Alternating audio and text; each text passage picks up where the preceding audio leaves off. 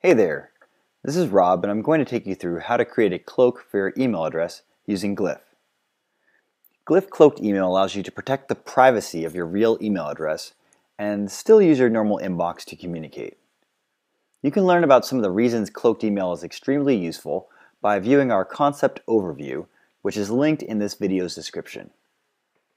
You'll know you're ready to go if you have the cloaked email icon in the top left corner of the activity view.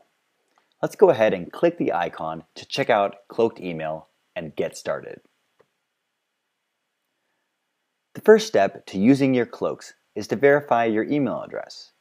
You can see that the address is currently listed as unconfirmed and that you're not able yet to create a cloak. We use the email address that you've saved in your email facet for your secret email. Tap the Confirm button to begin the verification process. Let's tap I'm ready and send the confirmation email and go check our inbox.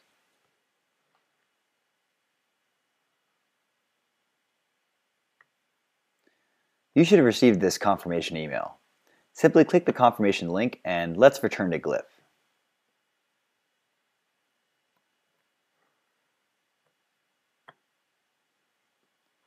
Once you've dismissed this dialog, you should see that your email is now confirmed You'll also notice that the Create New Cloak is now enabled.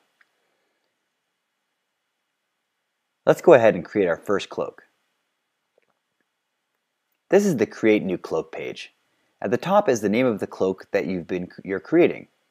In this case, you've been assigned the cloak kilometer 88 at cloak.gli.ph.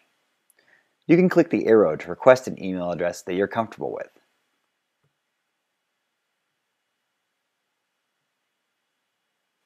Below that, you'll see your secret email address is listed. This is the address your cloak is going to be attached to. The final step of creating your new cloak is to label your cloak. In this case, we're going to use the cloak to replace our Craigslist account email address, so we'll label it Craigslist account. Tap Create the Cloak to finish. You can see that your new cloak is now listed under My Cloaks. At this point, your cloak is all set up.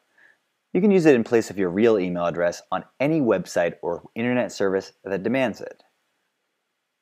If we go back to our email inbox, you'll see that Gliph has sent a notice of your new cloak for reference. This email contains written instructions on how to get the most out of your new Gliph cloak.